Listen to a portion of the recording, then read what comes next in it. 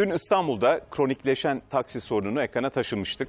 Mega kentte artık bir yerden bir yere gitmek gerçekten çok güç bir hale geldi. Çünkü toplu taşımada da durum benzer ne yazık ki. İğne atsan yere düşmez deriz ya bazı bölgelerde öyle. Duraklarda manzara öyle. İETT otobüsleri aksayan seferler yüzünden geç geliyor. Gelen de zaten tıklım tıklım oluyor. İstanbullular o dolu araçlara sığmaya çalışıyor. Öyle ki en son bir aracın camı bile patladı. Yani sözün özü şu aslında. Taksiye binemiyoruz, otobüse binemiyoruz. Peki gideceğimiz yere nasıl varacağız?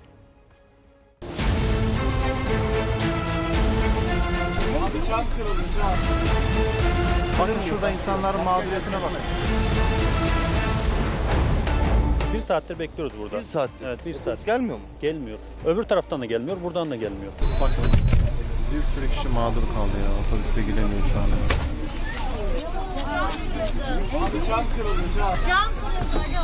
Bakın şurada insanların mağduriyetine bakın.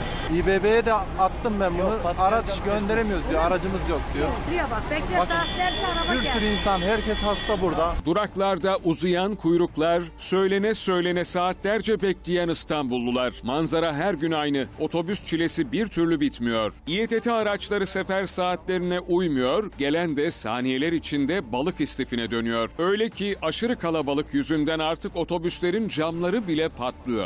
Şu anda aracın camı patladı. Bakın yoğunlukta. Abla İnsanları doldurdu. Böyle bu hale bıraktı bizi yollarda mağdur Evet oldu. abla evet.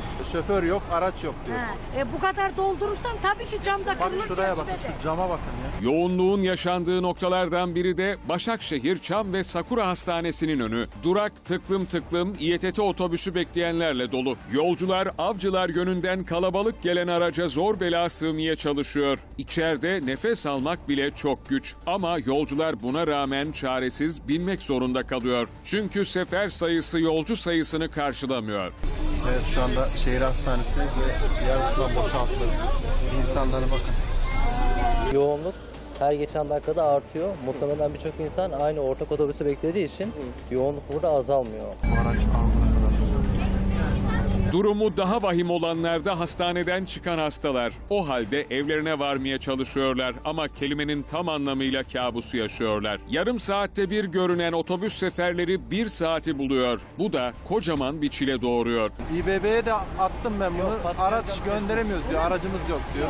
Ben mesela her gün geliyorum buraya. Her gün aynı. Bir saat bekliyorsun yani. Baksana şuranın haline. Bak insanlar mağdur kaldı.